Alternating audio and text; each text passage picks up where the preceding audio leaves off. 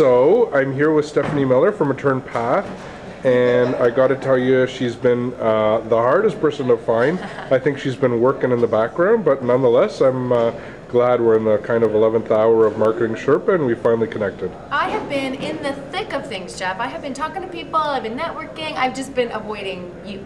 Oh, great! Thanks. yes, I've been walking. I've been walking around with the billboard on my back. You've been avoiding me. No, I'm just great, kidding. Stephanie. I I'm like just that. kidding. I'm just kidding. Um, so, I guess um, I guess I want to just you know maybe ask you and and um, I- I've asked everybody this. Uh, we say you don't know what you don't know.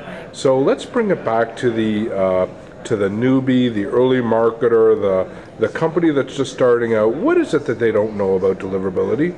And and that's a loaded question because there's so much they don't know. But let's get top line, real simple Yeah. stuff. Well, I think what what uh, what I'd like to suggest that people focus on is the fact that there is a number between um, delivered, which is your bounce rate, which you get recorded by your ESP or your MTA, and your open rate. There's a number in between that, and that's called the inbox placement rate. That's actually how many messages reach the inbox. So if you don't reach the inbox, you don't get a response, right? So if you're not tracking that number, you have no idea. So our data shows that about 20% of permission legitimate email, like the stuff that we're all sending here from Sherpa, that is not reaching the inbox. 20%, that's a big number. So if you have a bounce rate, which is somewhere, you know, under 5% usually, and if it's bigger than that, you have a problem. And then you have your open rate, which might be 20% or 60%.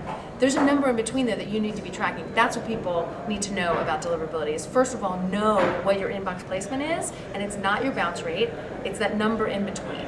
So how do you figure that number out? Is it is it through the tools of Return Path? Is it through the tools that are available through the um, ESPs? Like how do you get that magic number? Right. Well, we'd love for you to work with Return Path, but there are other ways to, to get that data. So we seed your campaign so that you can um, you can actually track that placement. Some ESP partners that we work with will also track it for you, um, but you want to make sure that you get the number so that you as a marketer actually have that number and it's completely transparent to you.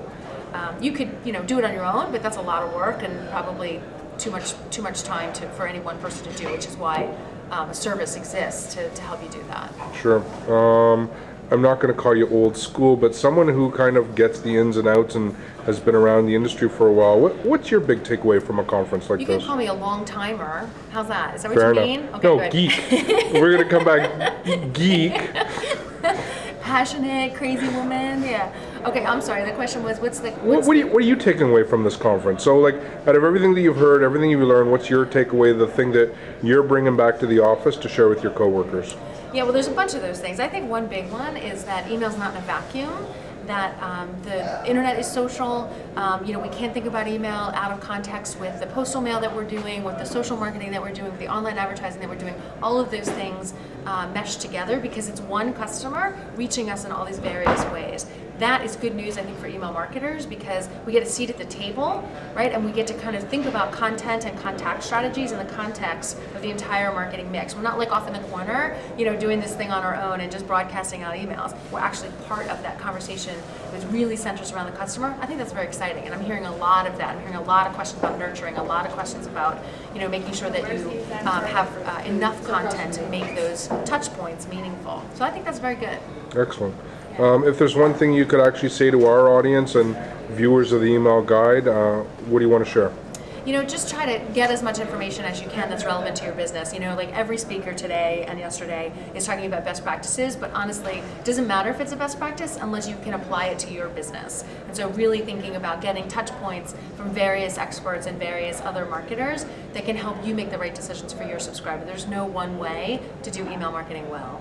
Excellent, excellent. So uh, I want to wrap it up. It's a different format than all the other videos we've done, but I want to say this is Stephanie Miller, and she's live in Miami here at Marketing Sherpa. Happy happy day, everyone. Thanks.